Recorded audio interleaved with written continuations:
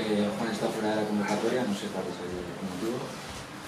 Bueno, el motivo es que no, que no está al 100%, ¿no? Es verdad que hemos tenido esa duda durante la semana con los porteros y bueno, el Sergio está bien, por eso está en la convocatoria y hemos decidido que es mejor que vaya Iñaki porque Juan no ha podido trabajar en condiciones y entendemos que con una semana más pues va a estar mejor. Otra vez que habladeros de cabeza para hacer la lista de 18.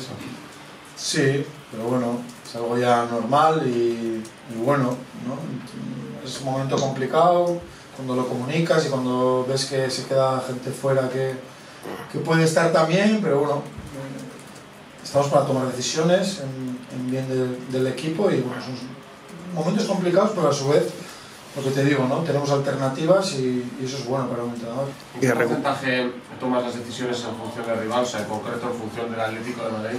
Bueno, a ver, ya sabéis más o menos que me gusta visualizar un partido o hacer un plan de partido. En base a ese plan de partido entiendo que unos jugadores me pueden venir mejor o, o peor y normalmente suelen venir por ahí más allá de analizar la semana de entrenamientos también, como es normal.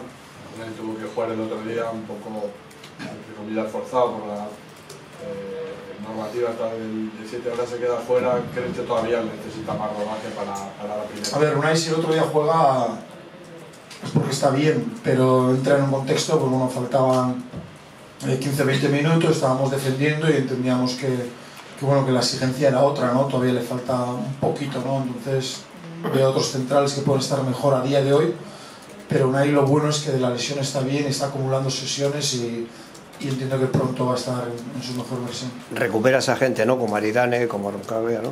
Sí, sí, Aridane ya está bien de, de la lesión, ha completado toda la semana y, y Facundo, pues bueno, que estaba sancionado, lo recuperamos también.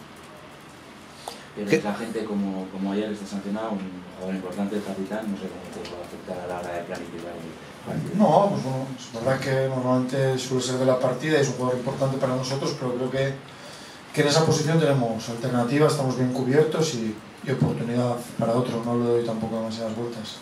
Con la plantilla que tiene el Atlético de Madrid, que haya jugado Champions, casi casi. bueno, No, no le doy ninguna importancia porque creo que primero están habituados a, jugar cada tres días, tienen plantilla para ello y creo que además era un partido importante y después de ganar, pues, el estado anímico seguro que, están mejor ahora, ¿no? Entonces, eh, no, el partido de entre semana no cambia nada y espero un partido muy difícil, yo creo que de los, de los más difíciles de la temporada. Hay escenario, ¿no? El Atlético, partidos de los que para estáis implicados. Sí, sí, es verdad, y nos queremos mostrar allí como lo que somos, ¿no? Y, y es un buen escenario complicado, pero a su vez nos gusta ir a esos sitios y también demostrar de lo que podemos ser capaces, ¿no? Sabiendo de, de la dificultad que eso conlleva. ¿Qué partido esperas? Si hablas de, de dificultad, complicado. Ellos parece que tampoco atraviesan su mejor momento. Bueno, están a tres puntos vuestros.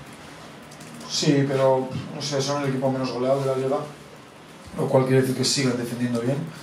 Y es verdad que llama la atención un poquito la poca eficacia igual que están teniendo, ¿no? Pero hasta ahora, es que con los jugadores que tienen eso cualquier día puede cambiar, como la frase del quecho que hablamos muchas veces, ¿no? Y, y yo espero un Atlético Madrid impresionante, que juegue en campo rival, que, que nos va a dejar pensar muy poco y, y nosotros somos parecidos en, la idea, digamos, a ver quién se impone a quién, pero espero un partido muy complicado.